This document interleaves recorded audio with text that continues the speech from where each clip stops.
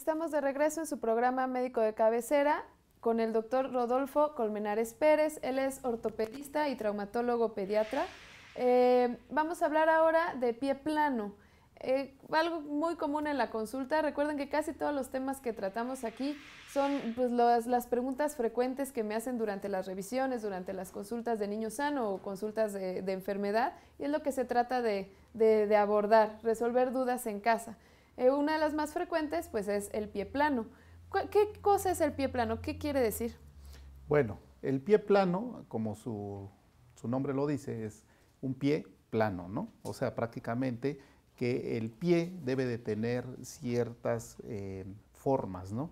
Y una de las formas que tiene es precisamente un arco eh, longitudinal mediano. Este arco precisamente eh, si nosotros lo vemos, eh, cuando nosotros levantamos el pie, prácticamente hace un arco el pie, ¿no? Y esto está conformado por un número de, huesos, que dentro de esos está el astrágalo, el calcáneo, las cuñas, ¿no?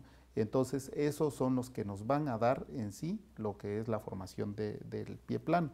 Pero eh, en sí el pie plano es la pérdida de la, del, del arco longitudinal mediano en el pie. Ese es el pie plano. ¿Y a qué edad se forma el arco? Un bebé que pues apenas empieza a caminar, pues les digo a los papás porque tienen un año y me dicen, doctora, revísele sus piecitos. Bueno, lo sube uno al plantoscopio, le digo, pues tiene una memela perfecta y la va a seguir teniendo así por lo menos hasta los tres años. Entonces, ¿cuándo ya vemos bien formado un arquito? Bueno, ahorita lo comentabas tú que precisamente eh, los niños, y es una pregunta muy frecuente de los, de los papás, es que tiene pie plano mi hijo, ¿no? ¿Sí? ¿Cuántos años tiene? Tiene un año, dos meses, ¿no? Pues es que no es pie plano, ¿no? O sea, obviamente que a veces eh, estamos hablando eh, y definir el pie plano flexible y el pie plano rígido. ¿Por qué? Porque sí podemos decir desde bebés de, un pie plano rígido. ¿sí? Entonces, el pie plano rígido ya es un pie plano malo, por decirlo así, y un pie plano flexible es el pie plano, vamos a decir, incluso normal, ¿no? En los bebés. Estamos hablando que incluso el pie plano es una variante del pie, ¿no? Eh, de un pie eh, no normal, pero sí es una variante de un tipo de pie. Por decirlo, se dice que un 10% de la población tiene el pie plano. Incluso eh, deportistas de alto rendimiento han tenido pie plano, ¿no? Entonces, es un mito el hecho de decir, por ejemplo, como tú tienes pie plano, no vas a ser un deportista de alto rendimiento. Sí lo puedes hacer, pero bueno, el pie plano se empieza eh, o lo empezamos a descartar después de los tres años o dos años y medio. ¿Por qué? Porque en los niños, precisamente em, por la falta de eh, tonificación en los músculos y en los ligamentos, el piecito pues no tiene fuerza, ¿no? Entonces está caído el arco. Entonces eh, esto se va logrando mediante, ahora sí que eh, empieza a caminar el niño o hacer algunas actividades físicas, ¿no? Entonces ahí es donde se va fortaleciendo los músculos y los ligamentos y se hace el arco. Mientras prácticamente hasta los dos años y medio podemos decir que todos los niños tienen pie plano, ¿no? Y también porque, bueno, en esas edades son niños, son muy gorditos, tienen un cojín adiposo, eh, pues, eh, más grande que un niño normal, de un niño de una edad de mayor de tres años, ¿no?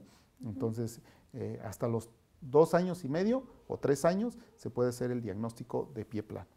¿Y cuál es entonces el pie plano flexible? Lo que nos comentabas que hay que diferenciar con el pie plano rígido, ¿cuál es el flexible? Bueno, el pie plano flexible es precisamente el que tiene flexibilidad, ¿no? O sea, ¿y cuál, eh, por decirlo, eh, lo ponemos en el plantoscopio y allá obviamente se va a ver una memela, ¿no?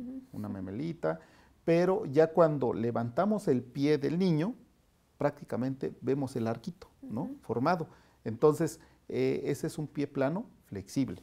¿no? El pie plano rígido, ni porque lo pongamos en el plantoscopio, ni porque lo levantemos, el pie plano sigue plano.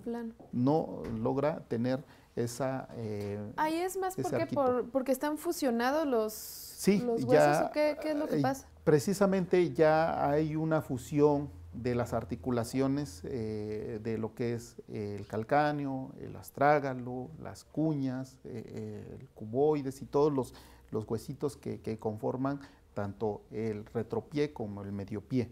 ¿no? Entonces, este, prácticamente eh, el, pie está rígido totalmente, ¿no? Y eso sí eh, normalmente eh, se tiene que operar, pero ya en edades posteriores, ¿no?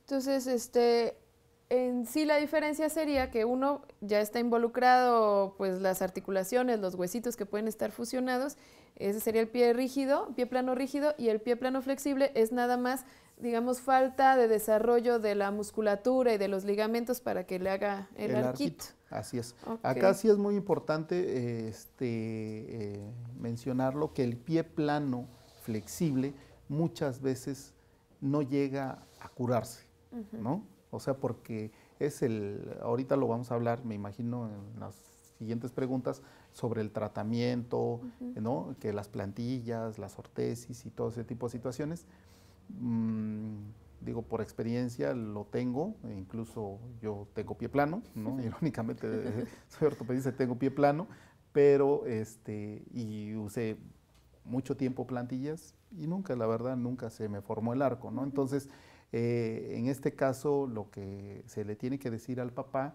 es que, eh, vamos, por decirlo, el 50% del pie plano flexible llega a tener cierto eh, desarrollo de la longitud del arco y el otro 50% eh, se, va a quedar, se va a quedar en esa, en, esa, este, en esa forma. Acá lo importante es que no esté asociado a dolor, ¿no?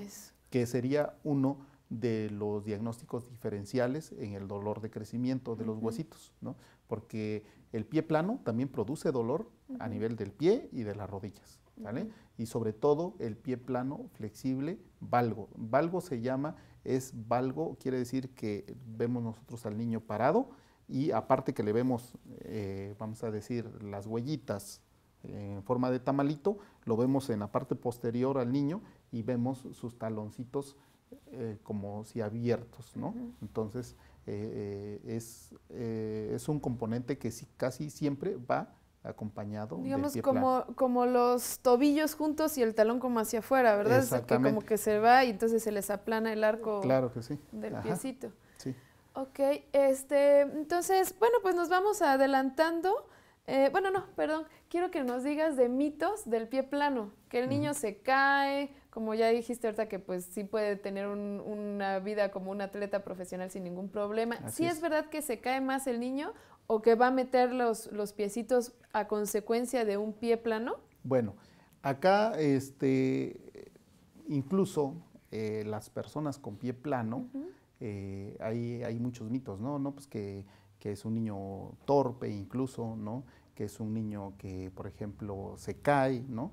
Acá es, es muy importante, eh, sobre todo, explicarles a los papás, ¿no? Porque dicen el papá, eh, es que mi hijo se cae mucho, ¿no? Bueno, sí, ¿cuántos años tiene su hijo nuevamente, no? No, pues tiene un año, seis meses. Bueno, ¿y hace cuánto empezó a caminar? Tiene dos meses. Pues obviamente que es normal que el niño, claro, que de un paso y se caiga y de otro paso se caiga, pues no es normal, pero que sí de alguna forma lo haga con frecuencia, ¿no? Este, eh, pero bueno, o sea, el pie plano, al menos que sea rígido, sí puede ocasionar más caídas, pero el pie plano normal no. Lo puede único pasar que desapercibido. puede pasar desapercibido incluso, ¿no?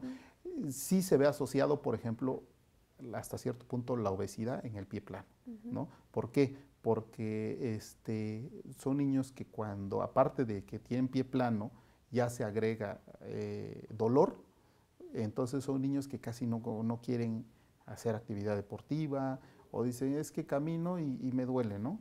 Entonces, este, prácticamente sí se asocian niños con sobrepeso en el pie plano y es un círculo vicioso porque suben de peso, eh, hacen menos ejercicio, tienen pie plano, ¿no? Y entonces es donde prácticamente, eh, independientemente de las plantillas, que también vamos a hablar ahorita, este, se mande a rehabilitación, ¿no? A control nutricional y ese tipo de situaciones. Y además el mismo sobrepeso aplana más el arco, ¿no? Y genera más, más molestias al final de cuentas. Bueno, pues eh, regresando al corte comercial, pues ya hablamos de mm, cuál sería el tratamiento para, para, cada uno, lo del calzado, que creo que es lo que más preguntan en casa, y que de plano nos digas pelos y señales y prácticamente sin decir las marcas de, de qué calzado utilizar. Así que por favor no se despeguen del televisor, estamos en el 152 de Easy y sigue interactuando con nosotros en redes sociales, en Facebook MBM Televisión Oaxaca y nuestra pediatra doctora Jessica Ortiz Moreno. Acuérdate que esta... Eh, pues todo lo de redes sociales, Facebook, Twitter, nos sirve para acercarnos un poquito más, para que nos comenten sus dudas y le saquemos más provecho al programa. No es fácil tener al alcance un subespecialista como el doctor Rodolfo Colmenares, así que por favor aprovechenlo. Regresamos después del corte comercial.